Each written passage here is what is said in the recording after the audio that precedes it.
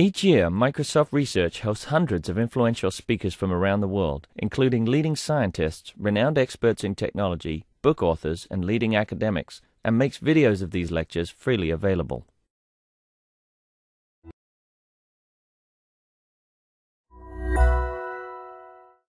Good afternoon, everyone. Welcome to the, welcome to uh, this uh, monthly playful learning expert talk. Uh, today, I am delighted to introduce Dr. Constance Steinkuehler, Senior Policy Analyst at the White House. She is currently working on a national agenda on games and learning. Um, so, you know, glad you could make it, and let's get started. Great. So, officially, thank you for having me. Please enjoy your lunches. This will be informal, so if I go in a direction that seems incomprehensible, put your hand in the air so I don't keep on talking in ways that don't make any sense. And Alex Gomez, thank you. Thanks for having us. This has been a really extraordinary trip. Just what I've seen so far in the last couple hours here on the Microsoft campus has been exceptional and mind blowing, and I'm really excited. Um, so I'm just going to walk through a little bit about, let me, well, let me first say who am I and what am I doing. So I am um, temporarily on leave from the University of Wisconsin-Madison. I'm an academic who studies games and learning, games and sort of the smarter side of fandom um, and gaming uh, writ large. And I am currently uh, advising on policy in the White House Office of Science and Technology. So, mostly what I want to talk about here is just sort of give you an idea of the tenor of conversation around games for impact broadly at the national level and talk a little bit about some of the initiatives that we're working on, hopefully to inform the work that you're doing, and then we can start having a conversation about, about what that might look like for the future. Is that okay? All right, so, um, and in some ways, I may be sort of repeating things that you already know, which is nice. Usually, I speak to audiences where I have to actually um, uh, put many different numbers in front of them of various sorts in order to help them understand that games are in fact a vital part of our economy, a vital part of our culture, of our art forms, etc. But in case you are not aware, you know, they are in fact considered a vital part of our economy. If you just look at the numbers of um, consumer spending, you end up around 25.1 billion. Much to other people's surprise, how this lines up versus things like the music industry is, you know, a good uh, two and a half times times something like the movie box office uh, income uh, profits for um, in America. It's also one of our fastest growing economies. Um, and global numbers, the forecast, if you saw last, what, two months ago, and economists had a nice spread on some of the predictions around the economy of video games and its global markets. But um, uh, one of the more compelling statistics I find is thinking about it in terms of just our national GDP. So from 2005 to 2010, that GDP rose by about 16%. So to give you a good comparison point, video games are more than doubled, right? So this is, compared to other um, economic sectors, this is a high growth area. But what has that got to do with na addressing national challenges? So my role in the White House is not simply making the economic argument that games are an important part of our economy, albeit though they are, and that alone should have people paying attention. But in fact, my work actually focuses on how might we think about games as a go-to strategy um, for thinking about some of our national grand challenges, our stretch goals, and the administration's current goals right now. So you know, in, in this audience, I don't have to explain many of things, but if you think about the potential for games, obviously they have massive potential for engagement. That's what game designers do, is design experiences to be engaging.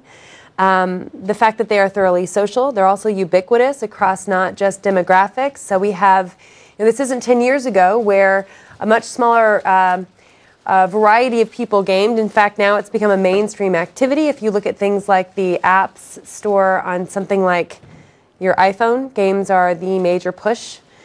Um, they're also ubiquitous across the everyday routine. So if you get on the metro in DC, you know, it's hard to enter a car where at least a good fourth of them are not playing some form of game on an on a touch screen typically. Um, but there's other points that make this a particularly salient strategy. They're conceptually transformative. So some of the work that we just heard a couple hours ago upstairs about thinking as games and gamification as a way to do things like even debug systems, um, they can be used to explore space, et cetera, et cetera. Um, they're obviously leading technologies. Uh, my computer replacement rate, given particular computer games that I happen to like, is ridiculous. So, as games move into the home, so do advanced technologies. They're also rich for data analytics and assessment. And of course, they're links to STEM careers. You know, if you're not here at Microsoft campus or in the tech industry, it is surprising to find out that games are, in fact, the biggest hobby space um, that we all have in common. Games have a huge influence on STEM related careers, on technology related careers, on advanced manufacturing. But a lot of that influence is left sort of unspoken unless you're in those industries themselves. So, as far as potential go, games have a lot to offer in many ways. Um, the research on video games is equally compelling. And here's just a smattering of some of the findings. So, um, and um, I won't dig into too much of this, but you know, the, the, the empirical argument that games may do more than um, than convey certain cultural themes that that are um, that are controversial. Uh, this, this argument has now been put to rest. So there are growing bodies of research and academic disciplines dedicated to things like literacy in games, basic reading and writing, all the way over to digital literacy, neuroscience around visual acuity, attention, um, scientific discovering, not just Foldit and thinking about high end scientific discovery, but games there's a growing body of evidence around um, games as entree into thinking like a scientist, into doing hypothesis testing, into doing things like theory crafting and World of Warcraft, etc. So the research is equally compelling with that. Uh, I don't know if you're familiar with um, any of the federal reports that came out, but in 2009, was it 2009? The National Academies of Science put out a report called Learning Science Through Computer Games and Simulations. Um, and in the front end of that, the, the goal for this report was simply that there has been a new call for um, different strategies toward teaching science and science literacy in the classroom um, with the general idea of engaging students in, um, as it says, you know, developing understanding of both science concepts and science processes. And the conclusion of the report was that, in fact, computer simulations and games have great potential.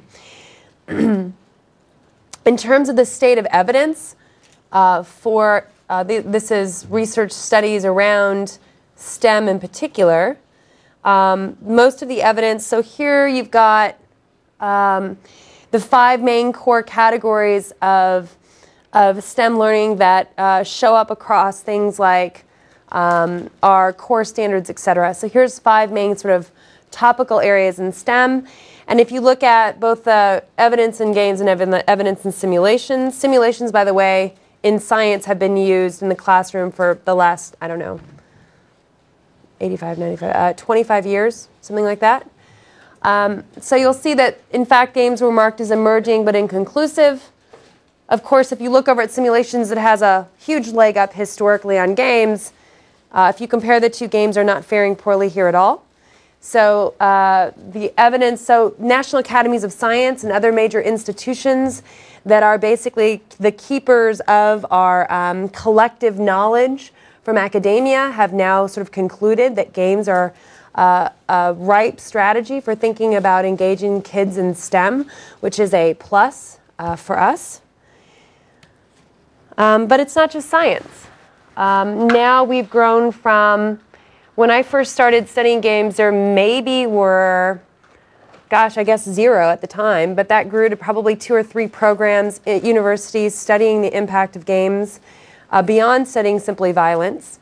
And now that collection has grown to probably 20 different schools of tier one academics studying games and across a whole bevy of topics, certainly not just STEM.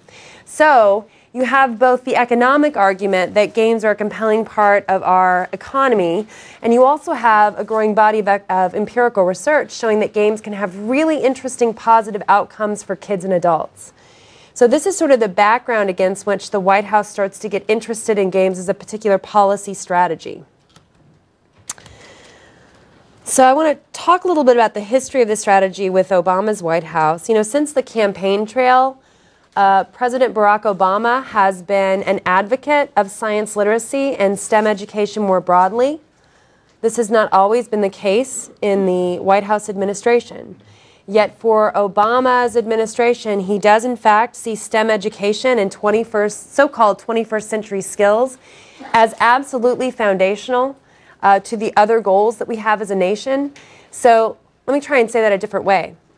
Unlike previous, unlike previous administrations, this administration sees understanding science and understanding technology as core to our entire, um, our entire future as a nation which means that there is a lot of concern and energy and momentum behind topics around that. Um, back in almost a year ago at Tech Boston, Obama, talking to a group of students, actually issued a challenge and said, I want you guys to be stuck on a video game that teaches you something other than just blowing something up. So you start to see the general rhetoric and tenor of conversation around games emerge. If you paid much attention to um, you know, games that the first family plays. This last holiday season, we had great clips of Obama buying games for his own children. Of course, Michelle Obama, the First Lady, um, has long been an advocate of fitness, nutrition, uh, through her Let's Move campaign and has issued, for example, um, the Healthier Apps choice. Now, this had a game component to it that wasn't solely focused on games. But here, you know, one thing that I found so interesting about this mobile apps challenge, which was before my tenure at the White House, um, what I found so interesting here was that the general strategy was release federal government data and then enable the private market to innovate applications that might leverage those data for consumers, which is a really interesting strategy and one you'll see repeated again and again across various agencies. Um, so, uh, if, and if you're interested in this kind of work, the HHS and Todd Parks, who is the Chief Technology Officer of um, HHS, his entire team for innovation focuses on just this strategy, which is release federal data um, and then help innovate and spur um, and spur technology development toward leveraging those data, which is fabulous to say the least. Now, my own office is John Holdren's office. This is the Office of Science and Technology Policy. Is anyone in here familiar with this office? Yeah, I wasn't either when I first started having conversation about joining it. Um, so John Holdren, this gentleman, John Holdren is uh, Obama's science director. In our office, we really have four core topical areas. This uh, office, it's a fairly small office in the White House of about 60 people, 60 to 75, I think. So there are four core topical areas, science, technology, uh, security, and then environment and energy. Um, it's revealing that I was originally uh, asked to take on the topic of Games for Impact and a national agenda toward Games for Impact. And originally that was straight under the director's office, so I kind of work with teams that do innovation. And within the first couple months, I became assigned to every team except except environment and energy. I'm pretty sure I get some form of badge or achievement pops. I ding at some point if I can conquer that one as well. Um, but I use this to illustrate the fact that games, um, the administration is open to technology strategies, including interactive technologies like games, not just for something like learning and education, but in fact to think about improving our cybersecurity, issues of national security, to think about um, um, you know, how do you increase not just scientific literacy, but how do you actually spur innovation, like the work of Zoran Popovic and Foldit? So thinking about scientific discovery.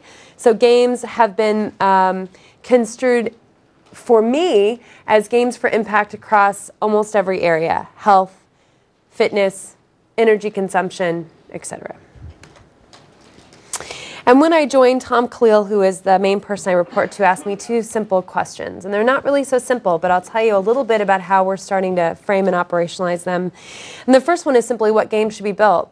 What game, what are some really sweet spots where um, the administration has set certain goals and games may be a go to strategy or a way in which we might think about accomplishing those goals? And the second one was, uh, in some ways, more challenging, and the one that I, I um, is probably um, makes fewer headlines, but I see as the longer lasting impact, which is how do you think about creating an environment for innovating in that space? So, in my assessment, games for impact are in some ways kind of a blue ocean market. Like there are some people moving into that space, and you guys are some of them. Um, but in many ways, there's this market that's there waiting to sort of be actualized. So the question is, how do you think about spurring innovation into that market in ways that aren't happening yet? And I should also ask the question, what is in fact the role of the federal government in doing that? Right? I mean, the the two basic rules of thumb of um, policy advising at the federal level, two of a couple probably, but um, you know, one is that federal tax dollars should go to places where on the cutting edge of innovation and although private market does some things very, very well, if you look back at certain major technological innovations like, say, the internet, those actually had federal dollars far before they were ever monetized in the private market. So that's one role of federal tax dollars. But the second role is also um, investing in spaces where there's no, there's no large enough clear return for private companies to be able to invest in it themselves. So when they, they when there are spaces in which the public good is very high, but the individual profit to be made for a particular company is just isn't high enough for someone to invest in that way. That's another important role of the federal government. So keep those two things in mind. So when I say something like how do you create an innovation ecosystem, that also means like how do you try to think about how to leverage the federal government dollars in ways that you're either at the cutting edge of innovation or you're trying to um, spur development in an area where it's may just not be profitable enough. Topics I work on. Uh, this is literally a page from my current portfolio. So there's really kind of three themes of things I'm currently working on. The first one is thinking about games for impact in specific areas. So, you know, the question of where are the sweet spots when it comes to games for impact and the administration initiatives, administration sort of goals. Uh, topics like energy conservation, um, uh, neuroscience, casual games, well being, financial literacy. You could also add to that list several other topics like civic engagement. The second big theme is infrastructure. So, um, how going back to how do you create that environment uh, for innovation? And the third one is really kind of trying to think about pushing discovery. So, there's a lot of work to be done. I mentioned some of Todd Park's work with releasing federal data, but some of the big name of the game in the office in which I work are um, discussions around data liberation. So, what are the assets the federal government has that it can release for its public market that are not simply just tax dollars? So, reliable data sets are one of them. Um, thinking about analytics, so learning analytics, and of course, discovery games of Zoran and other, um, other efforts in that space. So I'm going to say a little bit more about infrastructure because that's where my head is at right now and I probably relates to you guys the most. So um, on the topic of, let me go back to this. So three main things that we've been working on uh, at the top of that list. First is sort of establishing some form of community of practice of the people who are investing federal dollars in games. It turns out that um, uh, I expected when I first convened a group of people working at the federal level across agencies, so across like DOD, across um, you know uh, Department of the Interior, et cetera. When I first convened people that were actually involved in games, just to sort of do a landscape analysis of who's doing what in this space, I expected to run into about 30 people, 40 people. That group has gotten very, very large. It's actually the first meeting we had was 70 attendees, 23 agencies. It's now at 147 and 33 agencies, and that's actually a bogus number already. It's already like 170 people who are actually immediately involved in games and game investments. Now, keep in mind that for many of the people who are um, in, who are attempting to invest in games from a federal level, they're operating with a portfolio that spans all kinds of technologies and strategies. Let's say within Department of Education. So, a Department of Education program officer has a portfolio of projects that are funded through their particular program, and games may be one of them. Those game investments have been around for five, six, eight years, so the idea of the government being interested in games, that has already been going on long before I started my position at the White House. Um, the difference is that my role is to help coordinate that interagency conversation to help figure out are we investing in the right things? Are we investing in innovation? Are we redundant in places? Are we, you know, are there gaps or um, redundancies in what we're doing? So it has actually been a surprisingly large group. Um, in terms of representativeness, you'll see the three sort of predominant theme, the three kind of predominant emphases right now in the government is military, health, and education. That should come as no surprise, though maybe the health one.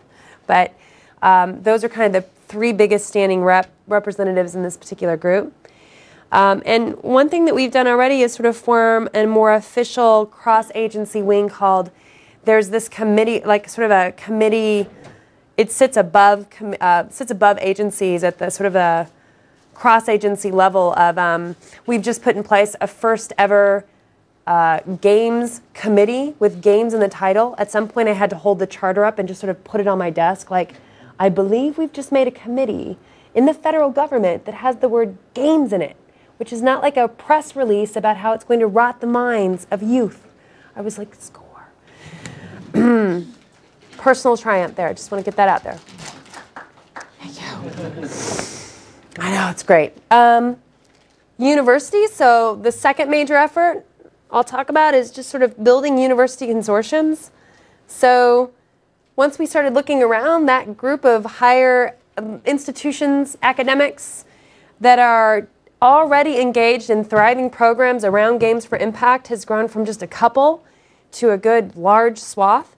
So, part of what we've been doing is putting those universities in conversation to talk about things like okay, how are we thinking about uh, privacy? How are we thinking about ownership? What are we doing that's open source versus closed? How do we solve problems like sharing data in certain ways so that we can build algorithms that might actually trace what people are accomplishing without having to rebuild the wheel again and again at every institution? So, thinking about what are some of the pain points we have in common or assets that we could share. Um, excuse me, I have a terrible cold right now, um, that we could get together as a community of universities and actually start pushing the market in that way. Here's why this is so important, right? This is the thing that plagues my existence and always has. Games for impact have to be great games and they also have to have demonstrable impact. It is simply not good enough to say we think that it's we believe that our, our title is educational, right? We need to be able to build some form of argument based on data that it has impact in whatever direction we claim it does. Well, that means the marriage of two things that in in some conversations have been sort of incommensurate. It means that you have to have really great design chops. You have to know how to build a game that's worth playing. For me, the golden standard is people should play it voluntarily and pay to play it. It should be marketable, not I have to assign it in classrooms and like bribe you with extra credit to get you to do it right? So it has to be a great game, and that's hard. And most of that talent sits in the industry. Some of it sits in higher ed a little bit, there's some, but for the most part, it's an industry. Versus the second, which is games that actually have impact, games that there is an empirical argument that they have impact, and a non biased, non profit driven argument that they have impact. So part of the reason to build something like a university consortium is to say, are there ways that we could partner so that we can start dealing with building games that are great games, but also researching those games in order to make that argument for the public and for ourselves that in fact they're having the impact we say that they have. Um, one thing I love about this is that on the abstract level, that sounds like good luck with that, sure. And yet, I guess because I've gotten old in this field, I have yet to go to any actual meeting where academics and designers weren't in the same space playing the same games, talking to each other with absolutely no problem about like how to think about progression through a level, right? So in practice, um, where I think in some ways there's a sort of culture clash between the two general institutions of private sector industry versus academics. The truth is that all that is hogwash when you actually just sit down and talk to each other. And I see that happen again and again and again, right? I mean, just the academic presence at GDC, I'm like, this is awesome. This is amazing. I remember when there were no academics at GDC because simply they, they believed that you didn't have to pay attention to great design. And then it turns out you do, right? So it's great to have them attending to um, the expertise that's already in industry and vice versa, right? We're seeing more and more of game designers uh, become interested in these topics and join higher, join both game design labs at universities, but also take on tenure track positions at universities and start teaching and building that next community. Well, so what is the role of industry here? Uh, I don't know if you've noticed, but for many of the of the serious video game uh, titles, the publishers are not at all the commercial publishers. And while you guys may be the exception to the rule, most of what I spend my time wading through as far as serious games or games for impact tends to actually have a publisher over here. And just ask yourself how well the Federation of American Scientists, for example, what do they know about game publishing? Yeah, exactly, right? Turns out that that's a whole nother level of knowledge that is still way over in commercial and actually not in conversation yet with who right now is publishing some of those main titles. So figuring out how to get these groups in better conversation would be a good thing. Um, but here's some other ones. I can't stand the there. So here's some other sort of leadership roles that I've talked to people in industry about. So thinking about things like sabbaticals, what I just talked about with game industry designers actually taking sabbatical and teaching uh, both undergrads and grads in uh, higher institutions, or vice versa, thinking about professors and researchers, whether it's, I keep focusing on, on academics, but actually some of those researchers reside not just in industry, but also in um, you know think tanks and philanthropy, though to a much smaller extent.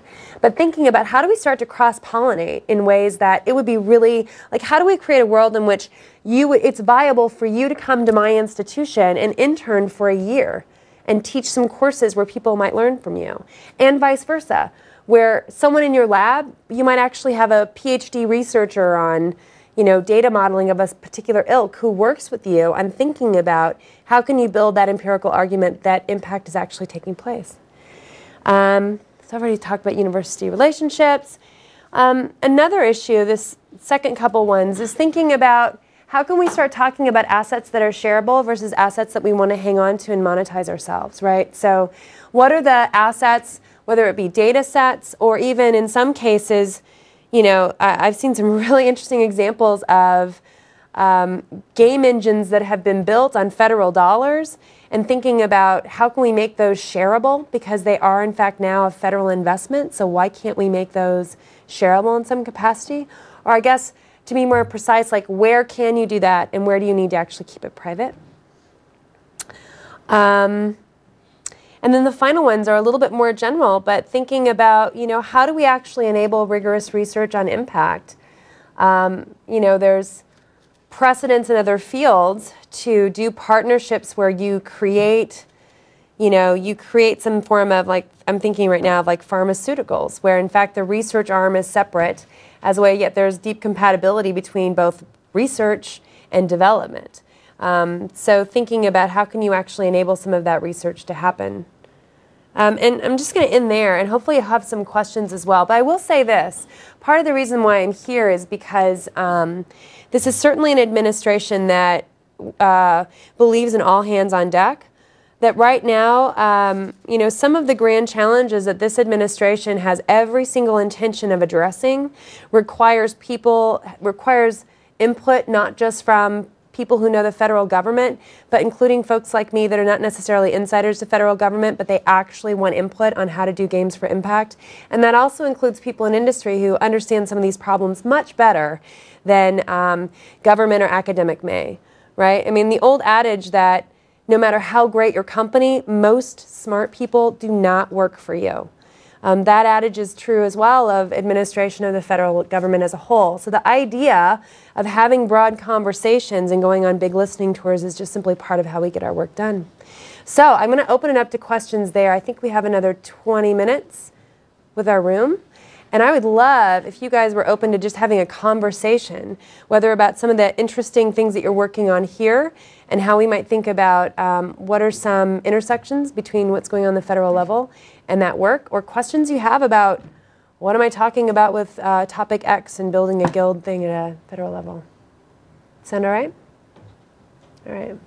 One of the things we struggle with, because our charter is a group, and I don't know how much you, Alex, Alex has talked to you about it, but it, it's, it's trying to go to the blue ocean of saying, this is something that's incredibly fun and also incredibly good for the game. Right. Um, and we struggle in defining exactly, so what is a good for you game? And you had serious games and then the commercial ones. do you have a definition of what's a serious game? and we have, for example. Scribblenauts. I don't know if you're familiar with Scribblenauts. Yeah. And that for us is, was sort of our guiding light, which is very high on both. Right. That does set a very high bar on both, and that's exactly where it should be, right? I can't tell you how tired I am of seeing B plus or B minus or frankly C minus games that then, you know, uh, I guess I'm talking now about like certain federal grants where it's like, look, we took a bunch of money, we made a fairly mediocre to bad game, and then we researched the crap out of it to show that it's a kind of fairly mediocre to bad game, right? So the bar needs to be way higher than where it is. Um, so thank you for helping set that bar. I mean, as far as defining like what is a serious game, that's a really tough question that I struggle with. You know, so to take my White House hat off for a minute and just play the academic person. My own bias to date has always been studying commercial games, not because um, I don't believe in games for impact, but simply because I'm, as a researcher, very interested in what everyday person plays, not what niche community plays. So my interest has always been in kind of following the titles that garner the largest crowds, and those are consistently commercial games, right? So when asked the question of what's a game for impact, that's a really tough question because the the games that I would naturally pull are often commercial titles that were intended to delight, to entertain, to scare the crap out of you, to do whatever, to help you, so, to allow you to socialize, to allow you to frag one another. Um, and the, the impact part was um, uh, a byproduct, but not an intended one, right? So, what is a game for impact? I mean, I think I think the hard part about that is that I've seen games that had no simple casual games that had no intention to have impact, but put in the right context and the right curriculum or the right activity uh, can do amazing things. I've also seen games that had every intention to, to teach something or to change a practice that had no effect whatsoever. So um, I don't know that there's like a hard definition. I will say this. I will say that number one, I do not see games for impact as a genre. One thing I think is really stymieing both development and research is that people tend to treat it right now because the communities are too segregated as some sort of weird genre. And I'm like, games for impact are not a genre, right? They're simply a way to talk about games that are hopefully good games. Um, but beyond that, I, am not sure. I'm not sure that, that there's a clear way to sort of define it. And the reason I brought this slide back up was that I will tell you this so in this report, I was part of the committee that put this together, and I mean, that was like I think we did most of our work in like 2008, and it took two years for us to get this report out. So by the time it came out, you're talking about games that some of them no longer even exist, which was interesting, uh, an interesting lesson, I should say, and uh, how hard some of this work is. But in, in this particular document, I worked with a, a gentleman named Carl Wieman who has a Nobel Prize in Physics, and he and I were matched to actually do this state of the evidence part. So, wading through the evidence about games and the part about simulations. And Carl Wieman's expertise is the simulation side, and my expertise is the game side. It was a very interesting conversation. We did a lot of thumb wrestling to see who was going to win, various arguments.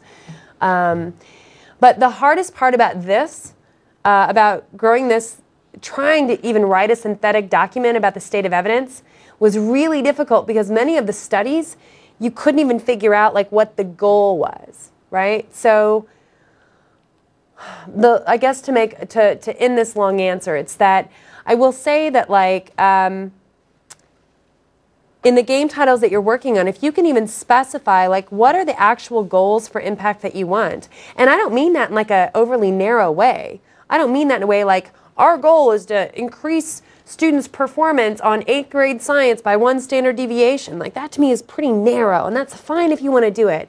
But I mean even in a broader sense, like I would just like to have someone be interested in science longer than they might have otherwise.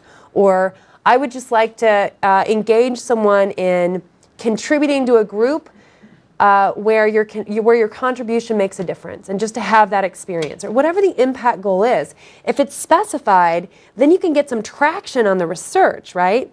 The hardest part is when there is no goal specified, there's just a design and some claims about it.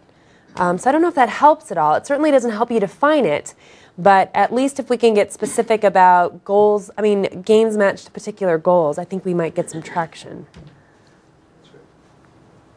Yeah. So how is the White House spending their dollars for trying to increase the uh, the impact of games? Is it, is it more on the, the research side, or is it like giving grants to uh, independent developers, or how is Right. that sort of being structured? So I assume you mean the agencies versus the White House, because by the way, my own salary is coming out of my own pocket of grants back at my home institution. So, yeah. So I mean, the White House, and the awesome part about this interesting job is that we control no budget whatsoever. We have no budget, right? Things we do well, we do meetings really well. We do policy advising really well. I can convene the crap out of a topic. Like, let's convene, let's do it, you know, but it's but you can get a lot of leverage out of those things. But that said, so are you thinking about like how the agencies are like Yes, or, or even like what their their goal would be to you know try to steer funds places. right? Um, so hmm, okay, so what would be the White House goals? So the agency goals are truly very broad. So, what, for example, um, is going on in Department of Defense um, is even wildly different than what's going on in DARPA. So, DARPA right now is much more interested in sort of like crowdsourcing and exploration and sort of cybersecurity and much more cutting edge topics. Department of Defense, you see a whole lot more of sort of military training simulations, which are games, but in a very narrowed sense. Um, so my so my role is to advise across all of these areas, which is fairly broad. Um, and I can tell you what my priorities are. And here they are. There. So my priorities right now, my um, the last couple months have focused primarily on infrastructure, so thinking about how to shore up what we're doing with federal dollars and how to get much better communication between industry academics and federal money. Like, how do you make that triangle work?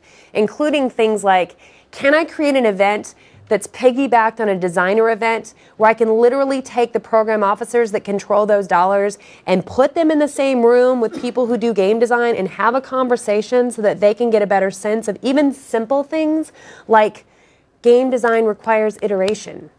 Your grants don't allow iteration. If you do not allow iteration, you are stymieing the product, right? So just conversations like that. So right now my head is much more in this infrastructure space. But I would say on the first question that Khalil gave me of what should we be building? I would say probably these are the five top themes in play.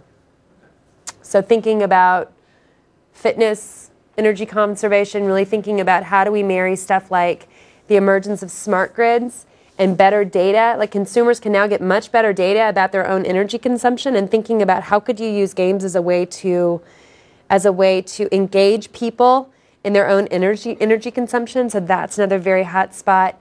Um, uh, financial literacy is one that has actually been developing long before uh, I came into the picture. But on that topic, um, the sheer fact that um, so many games, basic financial literacy concepts are already embedded in so many games um, is an interesting sweet spot to think about. Well, you know, for example, I'm going to go back to World of Warcraft because that was some of the earlier work I did.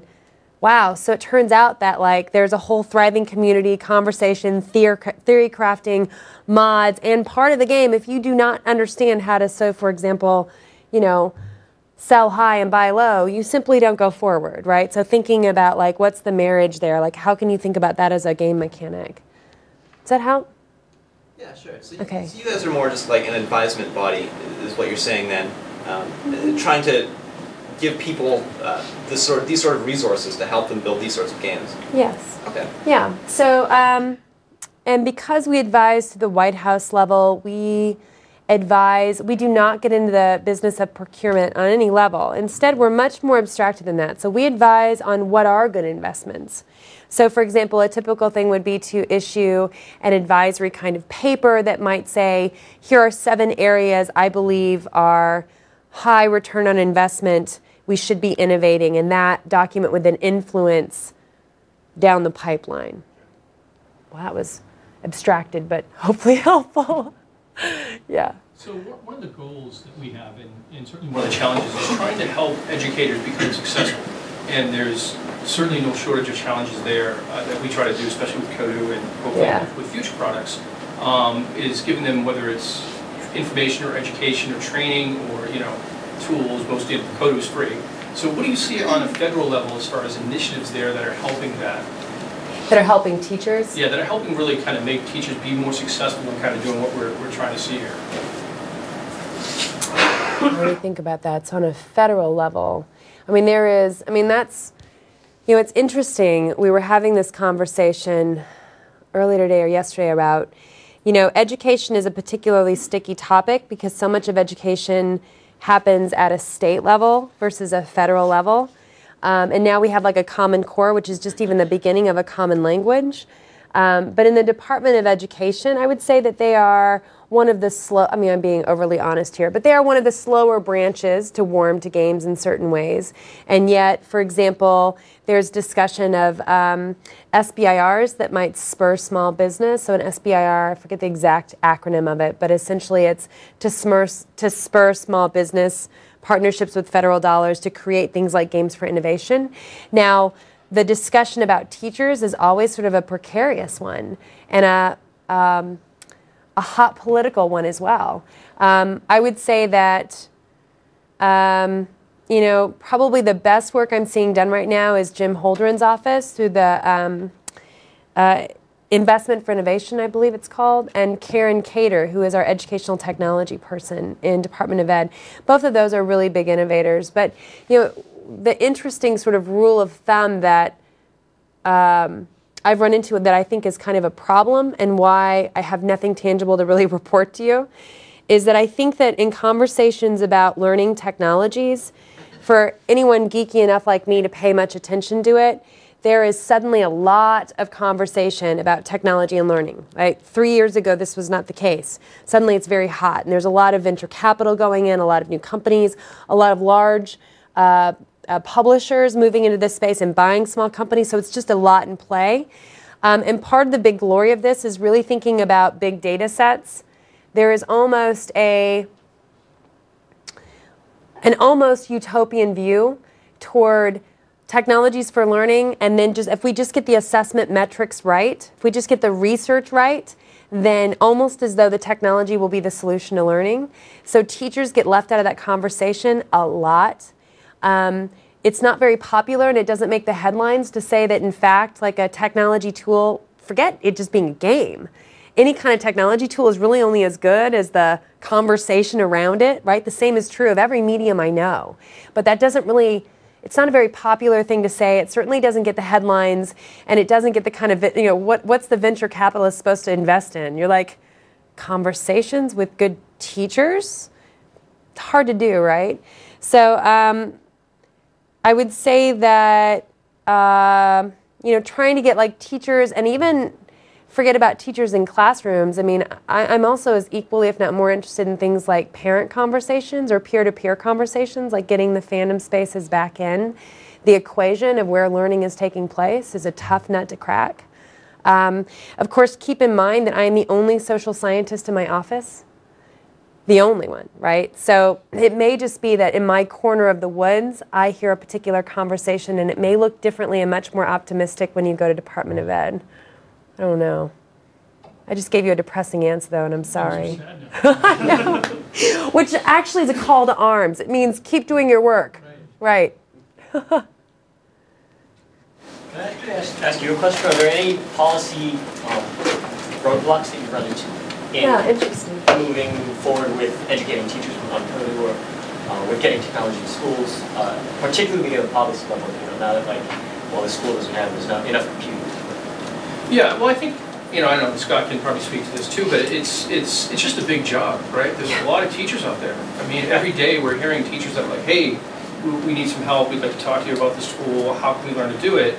And, you know, we're trying to do, do our best to really reach out to these folks and, and help them. And they're very they really want to do it, right? They're excited. These teachers really like get fired up about this stuff. And so that kind of gets us excited. That's right. But it's just such a big job that we're, it just seems like, and I know the UK is doing a lot of talk, and Alex is talking about that. They're doing a lot of stuff over there to try to kind of get that across the board. It just seems like we're, we're doing the bottom up. It seems like there should be some sort of top-down push to kind of help as well. Yeah, and just to cap what Mike has said there too, training the teachers has been key to us. As soon as the, the teachers have this barrier to the technology, once they get into it and see it and how easy it is, they just absorb it, and it's fantastic. In terms of the technology, we run into a couple of things, like the graphic card issue. Uh, schools are tech- typically running older systems. Uh, the Internet Explorer, I mean, obviously they don't have access to the internet like we would here, so sharing levels and creating a community is sometimes tough. But uh, we find workarounds for it, and they're passionate about enough about it. They actually do find those workarounds. I would be very interested if, if I would love to hear even I'll um, here I'm going to put up my email right now. I would love to hear your thoughts about. Uh, there you go. Hello, how to get it up? Um, I would love to hear your thoughts about ways to more to to better enable that space. Um, it strikes me that one. Uh, all right, let's see if I can actually get this big. And please write this down and keep me in mind for future stuff. But um, it seems to me that, oh, that would be terrible. that would be wretched for all you font lovers out there. I just ruined your mind, didn't I? Um, did I get that right? I think I got that right. Um, I would love to hear your thoughts on this and continue that conversation because there isn't enough movement in that space. It occurs to me that one one potential lever might be to also uh, do a better job. Uh, you know, in the sort of technology literacy skills that uh, incoming teachers have, there, you know, I've watched a sea change. I sit in a school of, of ed for teachers, right? And so I have gone from, I remember in 1998, literally the attitude of incoming teachers was like, not all schools have great technology, so it should be thrown out. If everyone can't have it, then no one should have it. And then the field shifted into debates about computing, computers, are they good for you or not? Discuss. And you're like, that's like asking me if the color blue is good for me. That's just so weird. And all that conversation has died now, except that, so I think we see like a, a new incoming generation that's just accustomed to games, accustomed to technology. But, you know, I'm not sure that we're seeing uh, an equal level of innovation and moving forward when it comes to sort of technology in schools and programs that are actually training teachers and then supporting teachers and part of like their career ladders. So I wonder what that space looks like and if that not, might not be another place to actually reach out for a much, I know it doesn't solve the immediate problem, but like as a much longer term conversation about what does that teacher ed look like around things like interactive technologies. In my mind, in my mind, there's also a, a component that, I and this actually I think is something at, at a policy level can be influenced, and that is what incentivizes a teacher to pick up a technology. Uh, you know, in the current Yes. structure, in the current structure of schools in, in you know, I, I- I would argue probably 43 out of all the states, there's absolutely no incentive to get a teacher to say, hey, I'm gonna pick up, or I'm gonna learn this new thing, and that's gonna give me some sort of, you know, benefit in my career. Right. Instead, it is, you know, if you're not teaching to that test, and, and it's interesting to me right now that we're seeing, you know, the moment that, that the administration made it optional to be part of No Child Left Behind, well, states are dropping it like flies. This is, that, that's clear, you know, plain and clear why that is happening. Uh, but in my mind, I, I think there's an important piece of work to be done influencing the conversations and, and the, the thinking that states are doing about around those teacher incentives. And I know that that's been, you know, a central part of rethinking, you know, how do you, you know, Obama has talked about it, you know, numerous occasions.